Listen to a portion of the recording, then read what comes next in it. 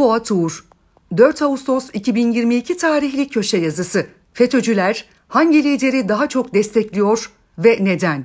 KPSS sorularının sızdırıldığı iddiaları üzerine ÖSYM Başkanı Profesör Doktor Halis Aygün görevden alınınca FETÖ'nün bazı kurumlardaki mevcudiyetini yeniden konuşmaya başladık. Gerçi bizler bu konuda hiç susmuyoruz ama özellikle üniversitelerden sorumlu olan gökte tam bir omerta sessizliği var. KPSS sınavı eğer sızıntının olmadığı net olarak tespit edilemeyecekse tekrar edilmeli. Bunu bir not olarak düşelim önce. FETÖ dört koldan faaliyette. Hem kurumlarda hem de sosyal medyada. Özellikle sosyal medyadaki FETÖ trollerini Twitter'daki paylaşımlarımın altındaki yorumlardan izliyorum. İlgimi çeken CHP Genel Başkanı Kemal Kılıçdaroğlu, İyi Parti Genel Başkanı Meral Akşener ve Zafer Partisi Genel Başkanı Ümit Özdağ eleştiren yazılarımda altını yüzlerce yorumla doldurup hakaretler yağdıranların çoğunun FETÖ'cü olması. Hadi Kemal Kılıçdaroğlu'na yönelik teveccühlerini anlıyorum. Ona büyük umut bağlıyorlar. Çünkü iktidara geldiğinde devlet aygıtından ihraç edilen FETÖ'cüleri yeniden geri alma vaadinde bulunuyor.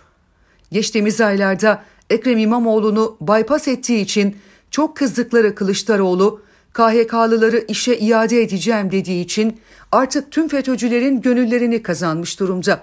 Yurtta sulh, cihanda sulh başbakanı olarak görev beklediği yıllara hep birlikte tanıklık ettiğimiz Meral Akşener'e hiç girmiyorum bile. Hele MHP'yi ele geçirmek için başlattığı mücadelede onun lehinde karar veren hakim ve savcıların FETÖ'cü çıkması gibi detaylara hiç. Genel Başkan Yardımcısı Koray Aydın'ın Meral Hanım'ı cemaatçiler destekliyor demesi ve yüzlerce ipucunu da es geçiyorum.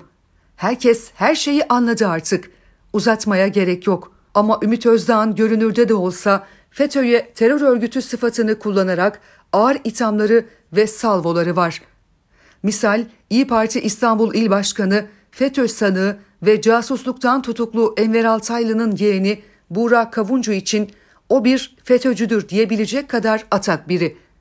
Bir başka örnek. Kılıçdaroğlu gibi KHK'lıları iade edeceğiz. İsimlerini kayıtlardan sileceğiz diyen Ali Babacan'a gidip FETÖ'nün elini öpeceğim de tam olsun. Ali FETÖ'can diye tweet atabilecek kadar da net. Hatta eski genel başkanı Meral Akşener'in FETÖ ile işbirliği yaptığını bile söyledi. O halde FETÖ'cü troller neden ırkçı tahriklerinden dolayı eleştirdiğim Ümit Özdağ'la ilgili her yazı ve paylaşımımın ardından bana saldırıyorlar diye biraz kafa yordum ve anladım ki sebep başka. FETÖ'cüler Ümit Özdağ'ın ırkçı söylemlerle Türkiye'de kaotik ortam çıkarma ihtimalini seviyorlar. Ümit Özdağ ümit bağlamalarının nedeni bu. Ümit Özdağ hangi olayı yazsa yalan çıkıyor.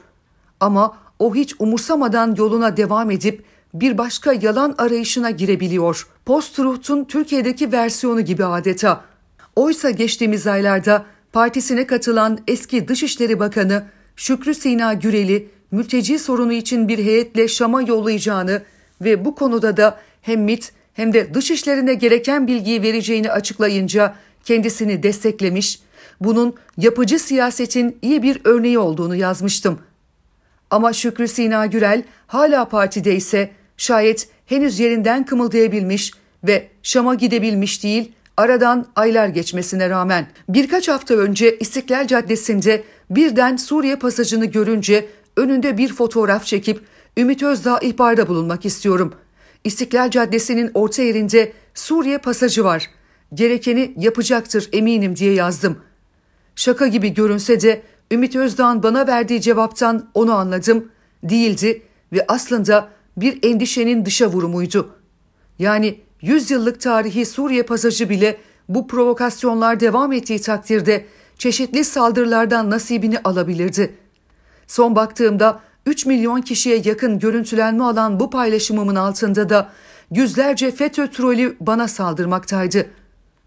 Suriye karşıtlığı, mülteci düşmanlığı temelinde yürütülen bu ırkçı kampanyalar öyle ileri bir noktaya evrildi ki sonunda korkulan olmaya başladı. Önce Kayseri'de bir adam alkolün de etkisiyle belediye otobüsünde annesiyle Çerkesçe konuşan bir Çerkes gencine saldırdı. niye Türkçe konuşmuyorsun ulan diyerek. Dün de bir kadın kendi aralarında Kürtçe konuşan Türkiye Cumhuriyeti vatandaşlarına Türk ülkesinde Türkçe konuşacaksınız.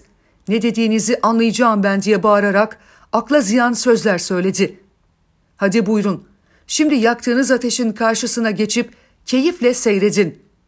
Evet, bu mülteci karşıtlığının ateşini CHP Genel Başkanı Kemal Kılıçdaroğlu'yla İyi Parti Genel Başkanı Meral Akşener yaktı.